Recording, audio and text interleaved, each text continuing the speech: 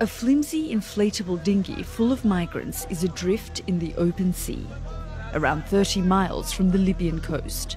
They have no fuel, no water, and no food.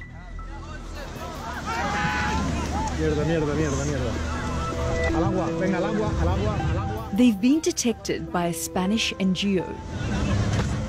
Most of these migrants have never seen the ocean. They can't swim. And after hours at sea in the sweltering heat, they're exhausted. This boat has just arrived with about 500 migrants who have been rescued trying to make the very dangerous journey from Libya to Sicily. So far this year, over 80,000 people from different countries have arrived. Around 2,000 have drowned. But the vast majority are not refugees fleeing war, but those in search of a better life. Most will stay in Italy. Sympathy for the migrants is wearing thin. Tensions here are rising. But what is the solution to Italy's migrant crisis?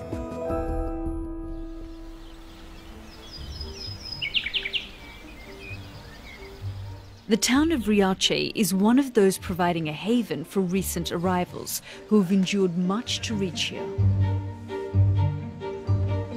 These young men of 16 and 17 are from the country which makes up the second largest number of migrants to come to Italy this year Bangladesh.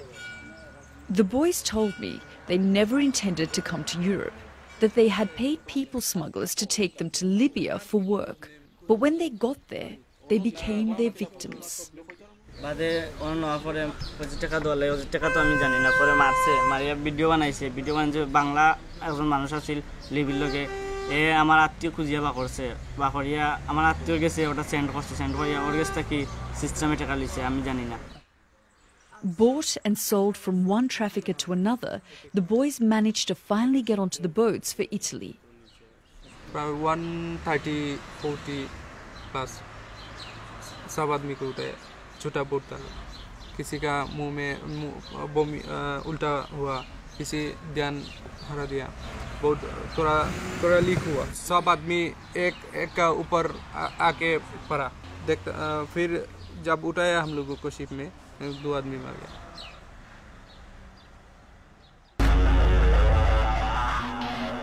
Not everyone is welcoming to migrants coming to Europe.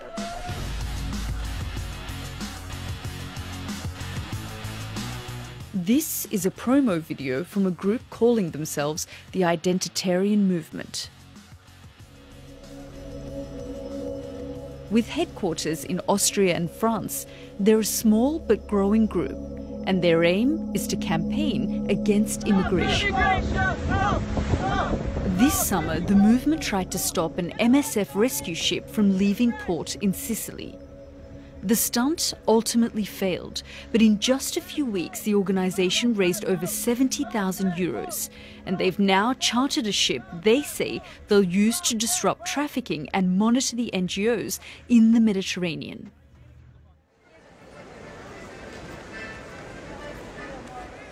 Their Italy coordinator, Lorenzo Fiato, has flown down specially from Milan. We want to defend Europe from mass immigration and multiculturalism. We think that in every city where multiculturalism is present uh, is also radical Islam and also uh, violence regarding illegal immigrants and more. So you want European culture, Western societies to just be white? It's not a matter of white, it's a matter, as I said, of multiculturalism. This is a different kind of migration. These are mm, thousands illegal migrants coming to our shores and uh, uh, flooding into our cities. Lorenzo's first goal is to combat those he sees as facilitating mass immigration the NGOs. You say you don't want the NGOs operating in those waters, that you want them to stop. They say that if they do stop, more lives will be lost. No, I I think this is false because these people are coming to Europe because they, say, they, they know someone will save them. You can't solve this problem by helping the human traffickers doing their jobs because they want to transport illegal migrants. So you are just helping them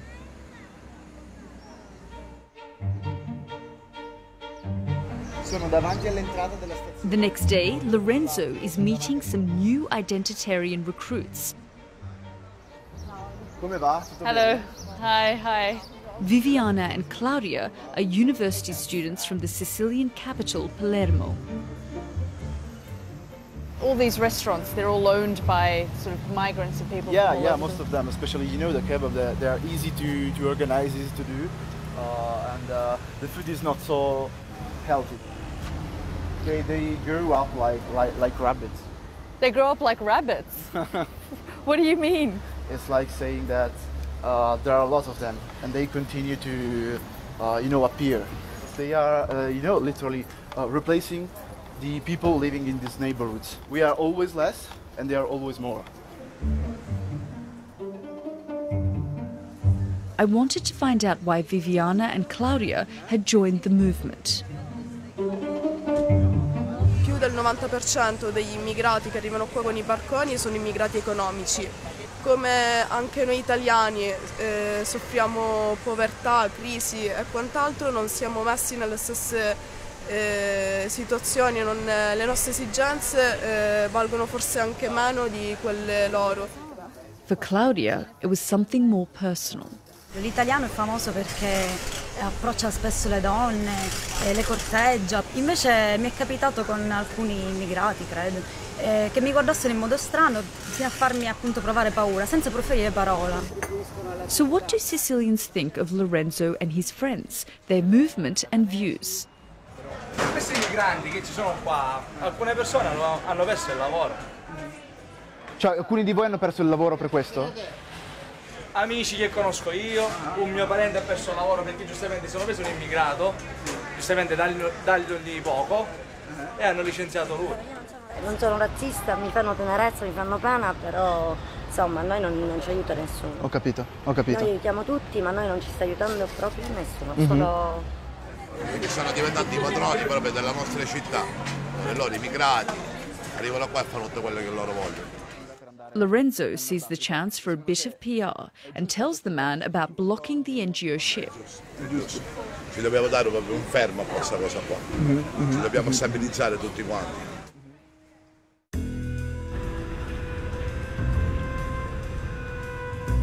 There's been another rescue, this time by the organisation Save the Children. An inflatable carrying 125 people has been located off Libya. It's beginning to deflate and is taking on water. 25 children are on board, four babies, and several pregnant women. And there are fatalities. Four people die, one, the mother of a 15 month old baby.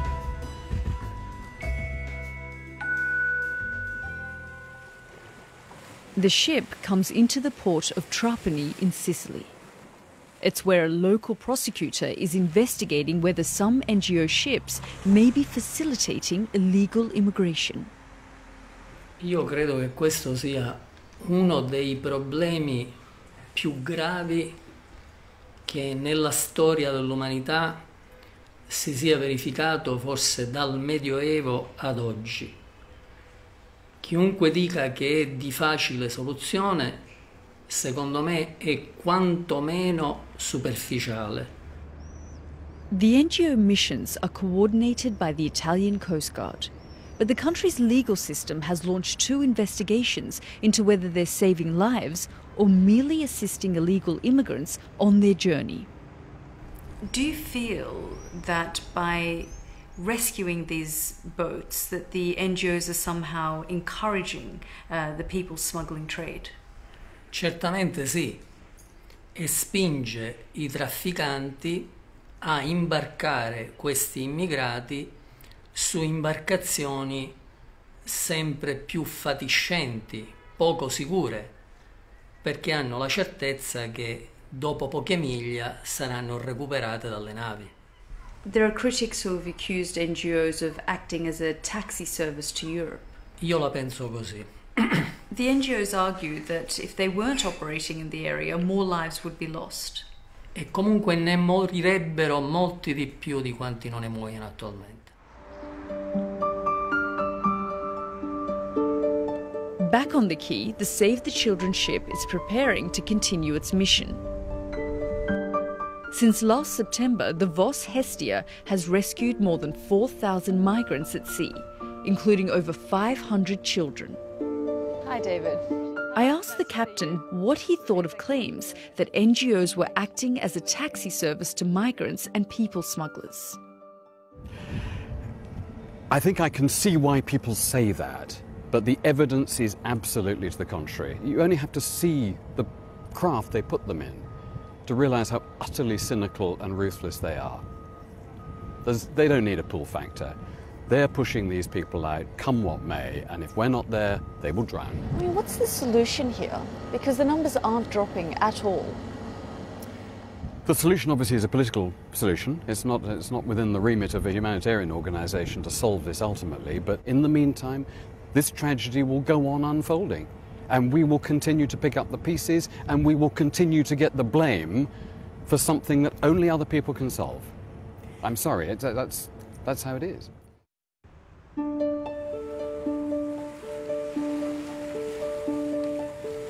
It's estimated that this year a quarter of a million migrants will make the perilous journey from Libya to Italy. Several thousand will drown on the way.